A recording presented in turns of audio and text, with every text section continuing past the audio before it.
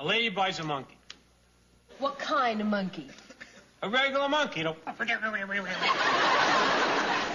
Now, a husband hates the monkey because a monkey is always mimicking a husband. Okay, husband's eating breakfast, right? Uh-huh. Monkey goes. He's taking a shower. The monkey comes in the bathroom and goes. Driving the guy crazy. So what does he do? Well, he's in the bathroom and he's brushing his teeth one day, gets an idea. He's brushing his teeth, monkey comes in and monkey goes.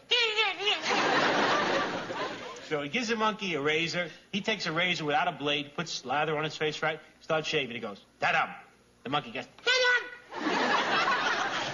He goes, da-dum. The monkey goes, da-dum.